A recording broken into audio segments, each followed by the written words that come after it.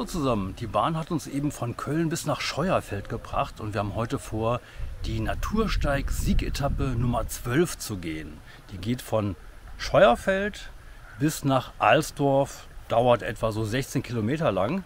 Und wir schauen jetzt mal, ob sie genauso viel zu bieten hat wie Etappe 11, die uns nämlich sehr gefallen hat.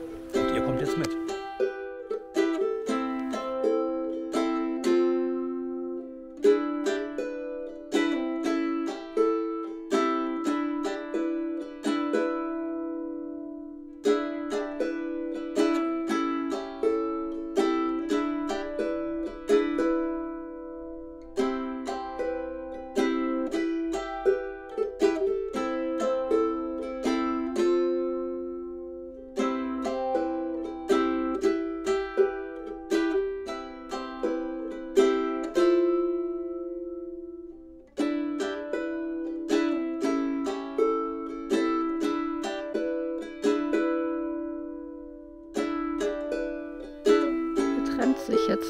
Neue Weg vom alten Weg.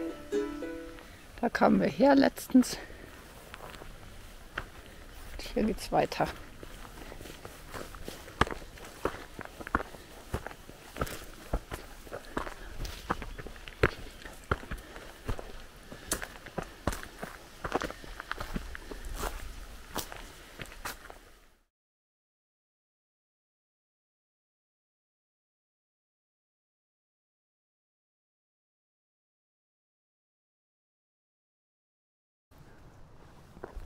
Hier wird es abenteuerlich.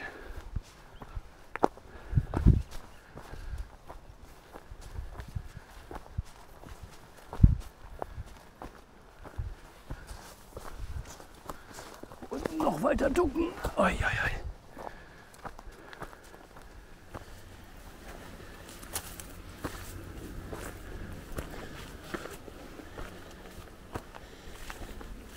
Ausgesprochen viele Himbeeren dieses Jahr.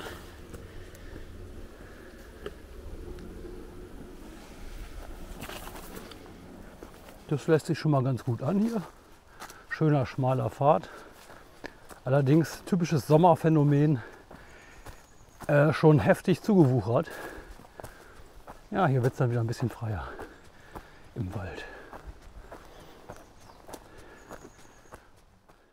Darf ich vorstellen, das Modell Verlustbank.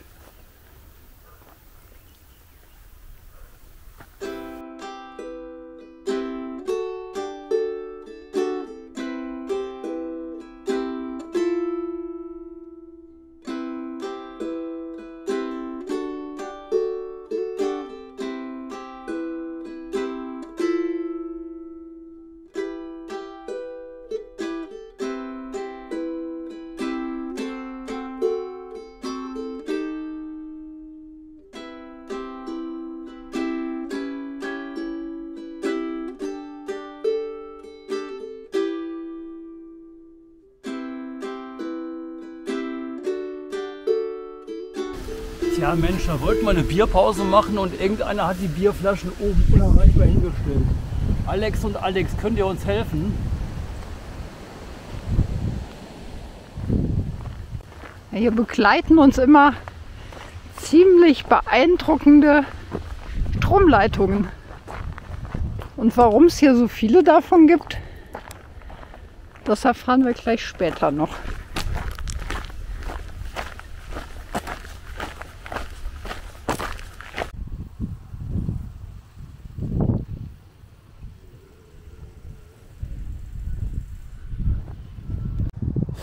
Also wer hier Schlafplätze sucht in diesen Hütten, ist glaube ich ganz gut bedient. Das sieht relativ komfortabel aus. Hier sogar noch gepolstert. Und hier steht, die Hütte kann kostenfrei reserviert werden. Beim Ortsvorsteher mit Telefonnummer.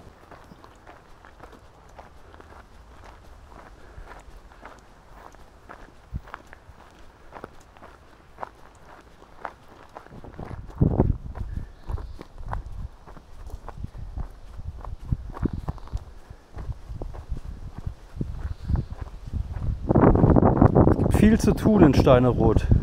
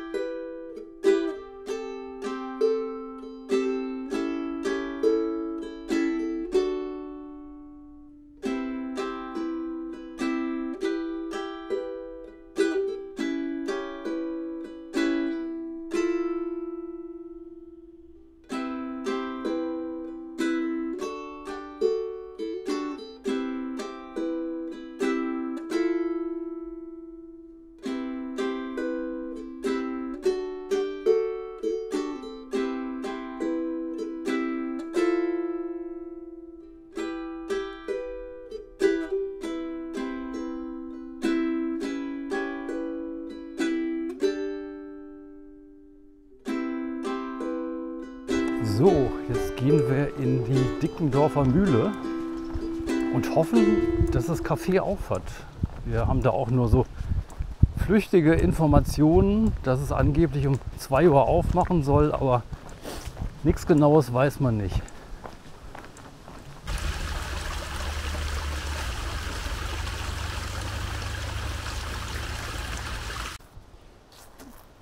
Ja, alles sehr idyllisch hier bei der Dickendorfer Mühle. Nur leider geschlossen. Schade. Wir hätten Hunger auf Kuchen gehabt. Kaffee hätten wir auch genommen. Ja, ein bisschen versteckte Wegführung hier vom Natursteig Sieg. Denn hier führt der Pfad mitten durch die Dickendorfer Mühle die leider geschlossen ist. Ich kann es nicht oft genug betonen.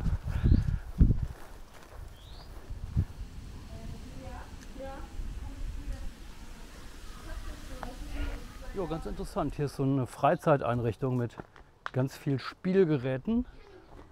Und äh, diese Rutsche, die reizt mich natürlich wieder. Aber nachher bleibe ich da doch wieder nur stecken. Deswegen gehe ich jetzt brav mal hier hoch. Und hier ist auch wieder das Zeichen vom Natursteig-Sieg. Hätte man gar nicht vermutet. Sieht so privat aus hier. Okay, ich probiere es auf eigene Gefahr. Mal sehen, wie schnell ich werde hier.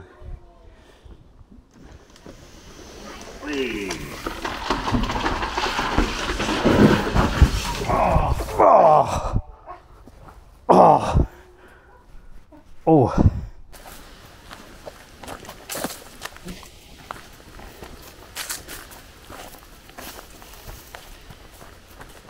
Tja, jetzt sind wir ganz unvermutet in einen Kriminalfall verwickelt worden. Zwar haben wir gerade einen Mann im Auto getroffen, der meinte, falls wir hier auf dem Weg vier Schafe sehen, sollen wir die Polizei rufen. Die wären ihm nämlich irgendwie abhanden gekommen. Und er sucht die. Aber die Polizei wüsste Bescheid. Wir haben noch kein Schaf gesehen.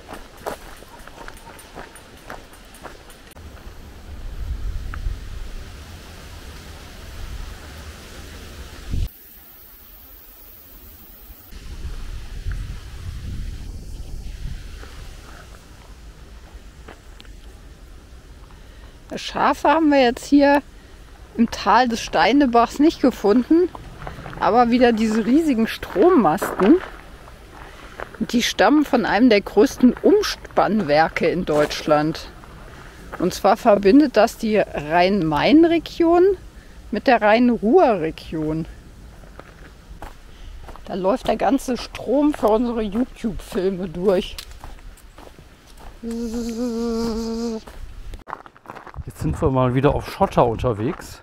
Das lässt sich nicht ganz so gut gehen. Heute haben wir bezeichnenderweise auch mehr Fahrradfahrer gesehen auf dem Natursteig Sieg als Wanderer. Viel mehr.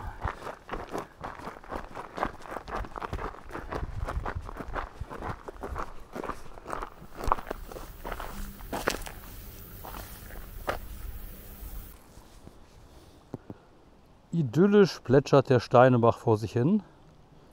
Und hier in dem Tal lässt sich ganz gut gehen.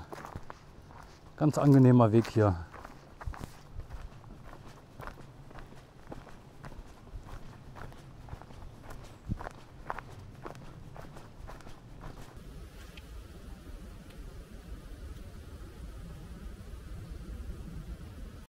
So, jetzt kommen wir auch so langsam nach Alsdorf rein. Alsdorf hatte so seine Glanzzeiten von 1471 bis 1885 und das hatte mit der Eisenverhüttung zu tun, die hier mal sehr verbreitet war und den Wohlstand des Ortes begründet hat. Vielleicht finden wir auch noch aus der Zeit ein paar alte Häuser. Schauen wir doch mal.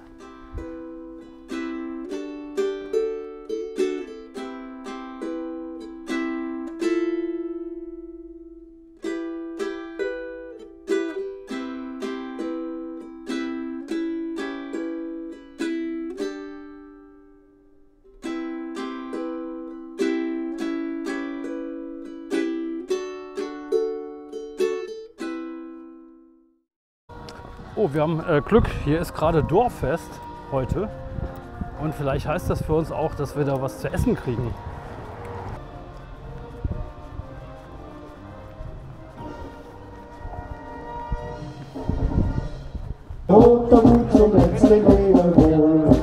Du bist das Land, dem ich die Treue halte, weil du so schön bist, mein Troller.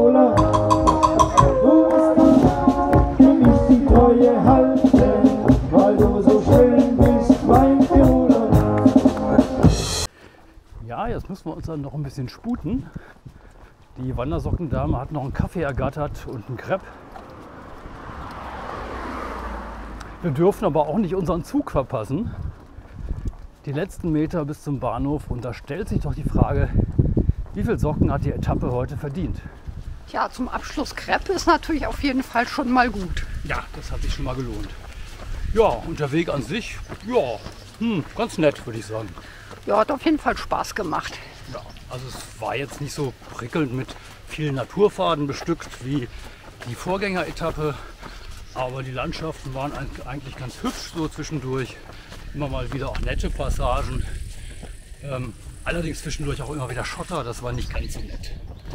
Hm, vielleicht siebeneinhalb Wandersocken Ja, heute kann man geben, denke ich. und die volle Kreppsockenzahl. Ne? Ja, auch wenn man es jetzt leider im Stechschritt essen musste. Ja, aber besser als nichts.